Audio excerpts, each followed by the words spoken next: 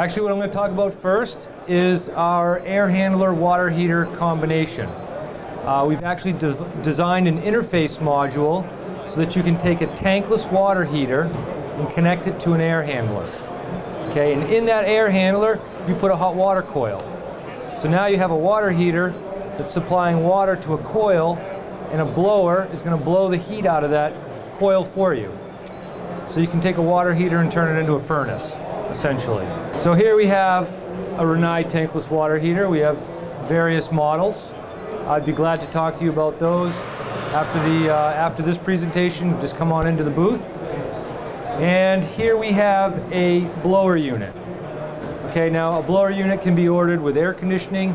It can be ordered with a hot water coil. Then you can connect it to a Rinnai tankless now. Because what we did was we designed an interface kit that allows you to do that.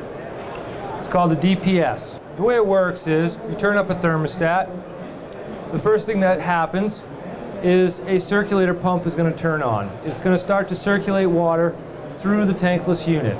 Okay, now the circulator is inside the cabinet here, but it can be outside the cabinet in either one of these lines, depending on the situation. When that happens, the Rinnai unit detects flow, turns on, starts heating water. Okay, water goes into the coil. When the coil is hot, DPS unit senses that and turns on the fan. Now, uh, it starts to blow hot air, and of course there would be a ductwork system off the top of that. Okay, it wouldn't just blow blow out of a box like that. You'd have ducts that go through your house. if you wanted to put a cooling coil on there, you could put the cooling coil on top, and in the summertime, it doubles as AC.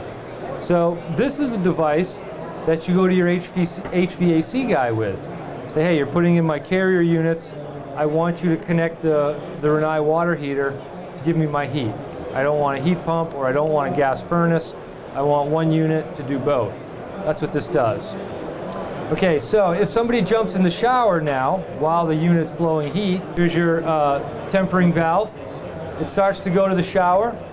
The unit will detect an abundance of flow. Okay, it knows the flow going through here, but now all of a sudden it sees more flow. It says, hey, that's the shower running. So if that flow exceeds a certain rate, we shut off the blower. Okay, that's that's the trick to this whole thing. You can't run both. You might be able to, but if you open two or three showers, eventually you're going to hit your limit. One of them's going to shut off. You don't want to shut your shower off. You don't want a cold shower, right? So you got to shut off the heat. So 10 minutes, the blower shuts off, you're done your shower, it goes back to heating.